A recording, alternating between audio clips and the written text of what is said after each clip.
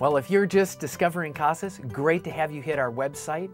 And one of the things we would love for you to know about us is we want to be a light of the world kind of church. And all that means is, is we want to be a church that's growing in Christ's love and helping people in their spiritual journey. So whether you're just beginning this whole God thing or whether you know you've been following Christ for a long, long time, doesn't matter. We would love to help you in that process to become a mature and passionate follower of Christ. So, hangups, hurts, habits, whatever it is, don't worry about it. We would love to have you join us. So, again, great to have you. Check out the website and sometime, sometime, come and visit us. Experience what it's like on a Sunday to just be in this community.